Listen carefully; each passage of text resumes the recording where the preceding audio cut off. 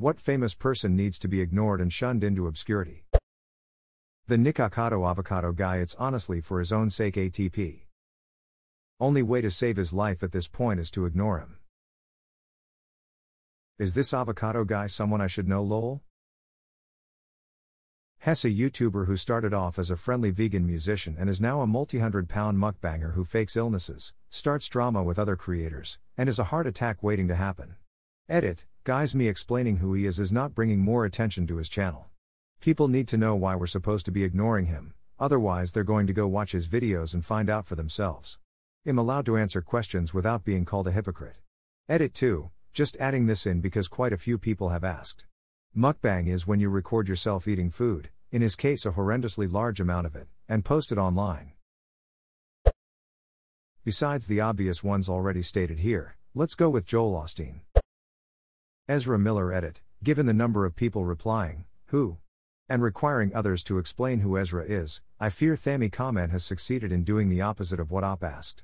Whoops. Forgive me. Damn near everyone I know is better than Ezra. Good. Chris Brown. Duck him. Jim Bob Duggar. Well, shit, I'm already there, no idea who that is. Honestly, that's fine. Don't even worry about it. Just forget you saw this thread, please don't even start down that rabbit hole. Why didn't I listen to you? This guy has 19 children? Jim Bob Duggar, who is the father of Josh Duggar, who was convicted of having child sexual abuse material and who had previously admitted to his parents that he was sexually abusing young girls when he was 17, four of which were his own sisters and one of which was two years old at the time. His parents then covered it up and didn't do anything to protect their own daughters from him. Josh Duggar was also revealed to have an Ashley Madison account during the leak. Yet, of course, they're all raging homophobes who blame gays for ruining the sanctity of marriage. They're all trash and they should burn edited to update information. He was sexually abusing young women, strike that. He was sexually abusing little girls. Not young women, little girls. You're correct, I changed it. Gwyneth Paltrow, Goop is pure pseudoscience and dangerous. In the spirit of being different from some of the more obvious answers, R. Kelly thought he was already in obscurity, but apparently he just released a new album. Only heard one line from it, what I think is safe to say the most notable one, and it just reaffirms he can piss all the way off. He can piss all the way off.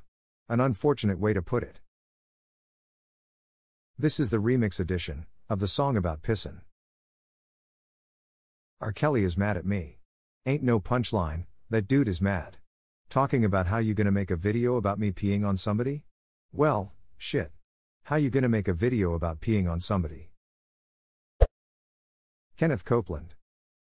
When I was a kid, I used to watch the last few minutes of his show before Pokemon came on.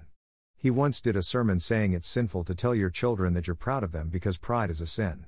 Even back then, I thought it was ridiculous that he couldn't discern between two definitions of pride. Probably intentional on his part, regardless. And he only got more abhorrent in the years afterwards. I also would see the last few minutes of his show before Pokemon as a kid. One morning, me and my sister had to get up earlier than usual for some reason. And he was going on and on about money. A comin'. To me. Now. Just some wacko prosperity preacher shit, and I still make references to that like 25 years later because it was so absurd and we both thought it was hysterical. Me and a friend have adapted it for when we're out in the woods hoping to find something like mushrooms. A comin'. To me. Now. And shit. And remember.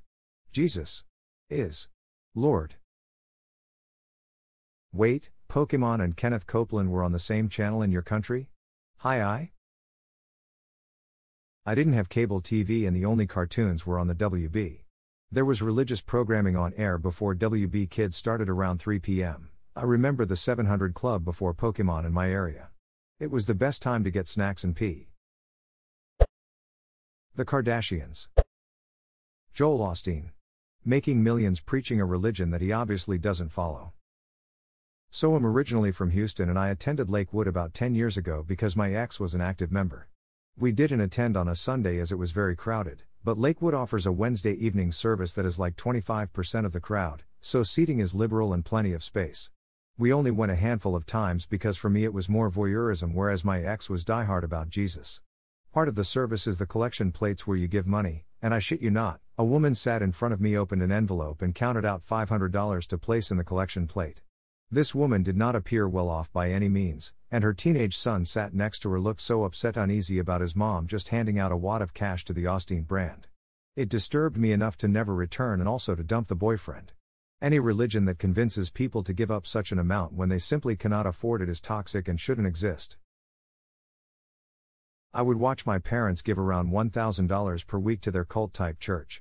The fun parts were 1, they had 6 kids, and 2, my parents always claimed we didn't have money for basically anything that we wanted to do. I would watch my dad spend hundreds on guns or gun accessories, but they would split one carton of eggnog between all of us around Christmas, but they somehow always found a shit ton of money to give to the church. Kids wearing clothes with holes in them, but yeah, give it to that grifting pastor instead. Chris Brown. The man beat the absolute snot out of Rihanna, and everyone just seems to have forgotten about it like it was okay. And he's been abusive towards his other's partners as well. He's a habitual abuser and people still love him.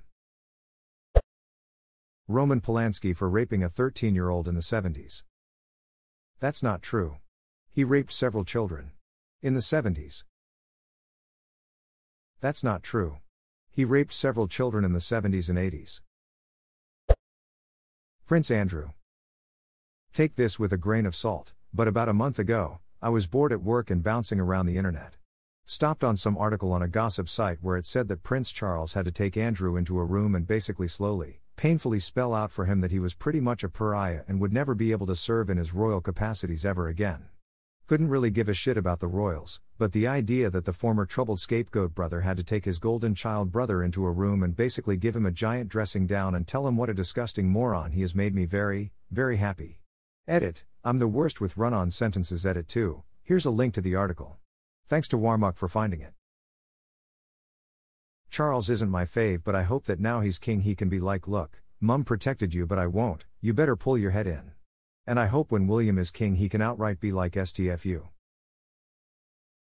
Charles has said for years that he wants to trim the fat of the royal family. Basically, anyone who isn't directly related or important enough, doesn't get a handout or title, and needs to get a real job. To be fair, the current extended royal family is quite large. There's three princes and one princess that are cousins to the queen, which still hold the title of prince because they were born during the reign of their uncle, George VI. Then we have the children of Princess Margaret, which don't have royal titles but are still part of the family.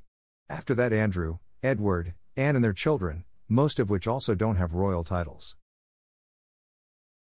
Precisely. Basically, unless they're doing royal duties, whatever that actually entails these days, then he wants them to earn their own money and live in a non royal property. Mind you, many of them already do this, they just have a bit of nepotism to help them get a head start on their careers.